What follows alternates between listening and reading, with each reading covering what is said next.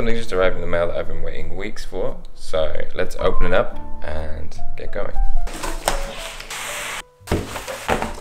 This is my 3D printer.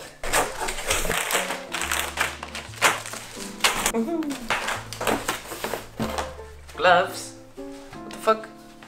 Got some gardening gloves with your 3D printer. I don't know what that is. Uh, I've never had a 3D printer before. This is my first one. I don't know if it's normal to come with all this stuff. I'm sure it is. Anyway, there's a reason for this. We're gonna we're gonna do a little project to do with drones, obviously. It has a handle. So it's uh, looks like a Mac. that is cute. Real cute.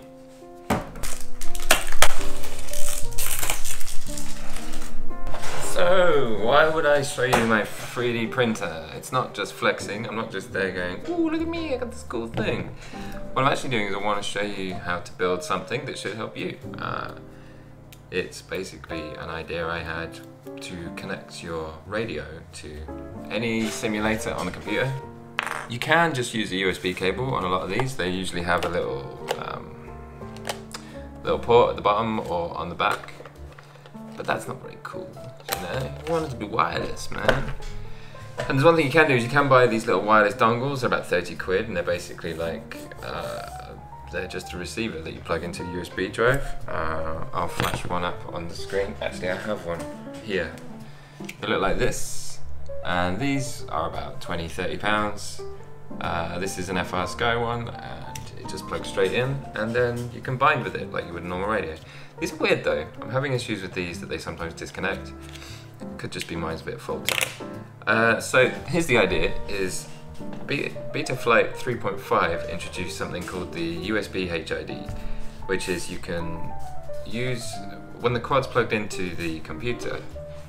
You can use the receiver and the flight controller as if it was a USB human interface device, which means it's like a joystick. So you can just connect the quad to the computer and then basically that's like then you use your radio as a joystick, which is pretty cool. But it means you have to plug your whole quad into the computer at all times, which is kind of stupid and it would look kind of funny if you wanted to carry that around. So what I'm going to do is I'm going to take this is a CL Racing F4S that is dead. It's not completely dead, it just doesn't have the VBAT power. It still powers from USB and all the 5 volt stuff still works, I think, if I remember rightly. So it means that it wouldn't be able to power ESCs or anything and it wouldn't power motors. So it's actually kind of useless for a flight controller for a quad.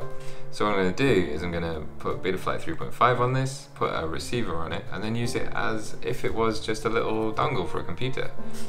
But so that it doesn't look like just a circuit board hanging off my, my computer, I'm going to build a nice little enclosure for it, which is what the 3D printer's for. So we got the CL Racing F4S and I've also got an XM Plus uh, FrSky receiver that I'm not using in any quads and it's quite um, it's quite a basic one, doesn't have telemetry or anything like that so it'd be perfect for this. So I'm just gonna design an enclosure that'll fit these two things. 36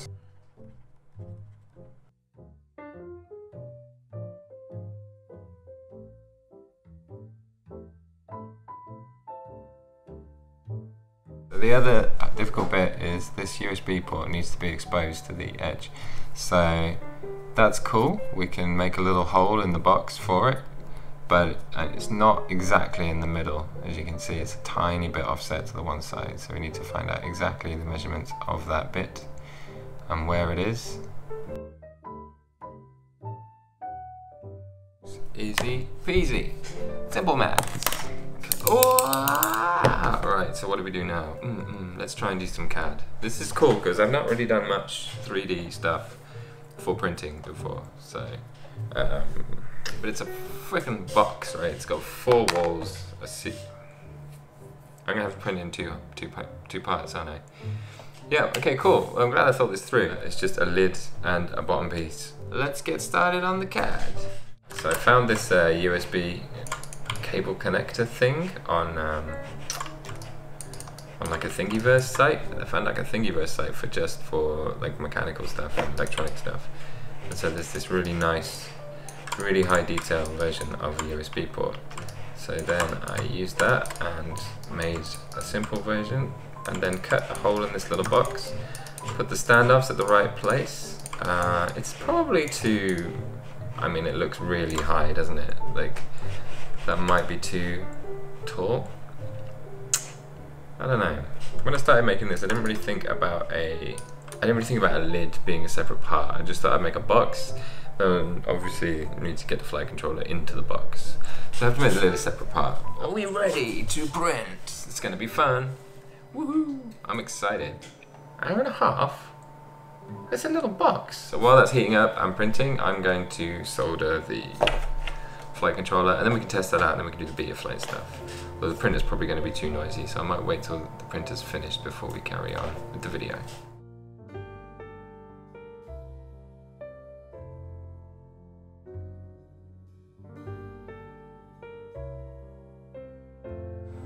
soldered the uh, F, the XM Plus to the board now, so I'll just probably secure that down with some double-sided tape, and then that's the internals done, right? So now we just have to wait for the 3D printer to finish, which you can probably hear in the background, whirring away, and then uh, we put them in, and then like glue the lid on. Can't wait.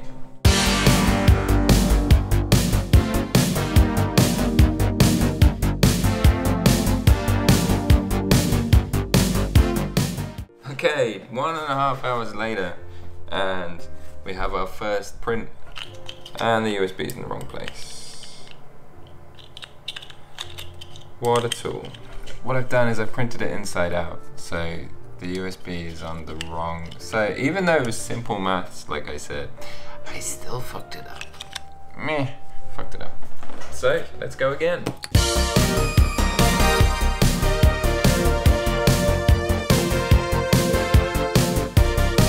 looks like a box. See if this one's a little better. USB doesn't look lined up still.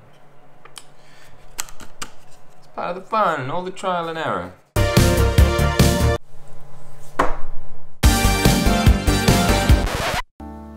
So that last print, I had to leave running overnight because it was getting really late. So it's actually the next day now. So this is the first two day video that I've done. Pretty crazy, but here it is. The box is complete.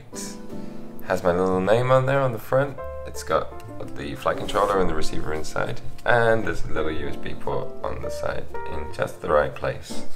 So, phew, we got there in the end. The way that I glued the top and bottom together is I used a bit of acetone, like some nail varnish remover, because it's ABS, so uh, it doesn't really work very well with super glue. But I read online that you can use acetone just to sort of melt the two layers together and it holds pretty well. It is actually really solid. So let's plug it in and uh, set it up in Betaflight and you how it works in the sim.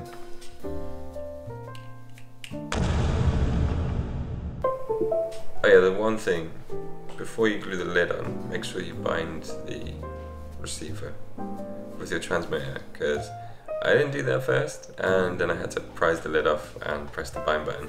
That's going to be a problem if you ever want a new transmitter or anything. I haven't made a way to get to the bind button. So V2 is going to have a bind button on the outside, but this one does not. Now we can go to Betaflight configurator, now that this thing's plugged in, connect.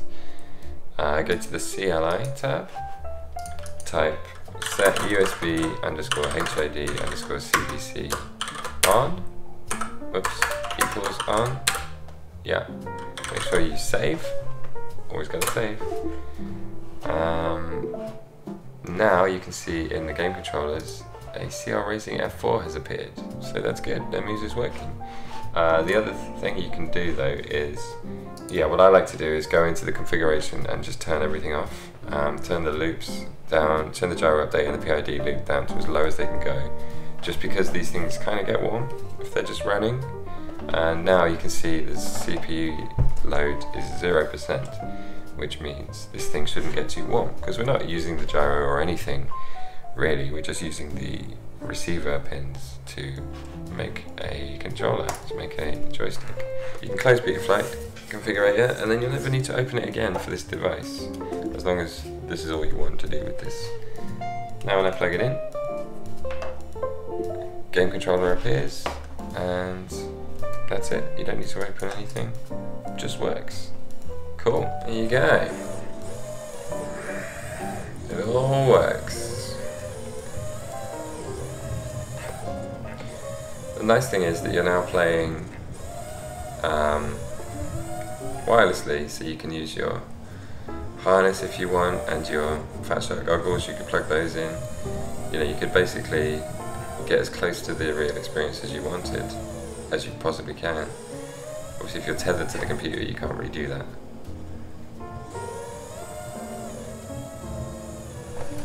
Look, no wires, just to prove that it is working over the RF. Which I guess is going to give you a slightly better um, sort of feeling of the real world with any sort of little bits of latency because of the RF signal, which is, I don't know, I feel like that's probably incomprehensible to mere mortals. So it's probably bullshit, but it just, it feels like it's a closer experience. We got there in the end. It's like six prints later, I think it was in the end. This was a kind of a success, I guess. I'd say that this is a it's pretty cool if you've got a load of like flight controllers that don't work lying around then this is a really nice way to save some cash on one of those uh, little simulator dongles that you can get. You don't need to make a pretty box just around it. I just wanted to do that because I just got a 3D printer. That's kind of, I'm to use it for other stuff like all of the mounts and things in the, in the upcoming builds. But for a test. I just wanted to get a, get a handle on the 3D printing. Um, just thought it would be a nice nice thing to make. But yes, there it is. It's it's all working, and I'll be using it from now on whenever I need to play on a simulator. Okay, cool. Thanks for watching. Bye bye.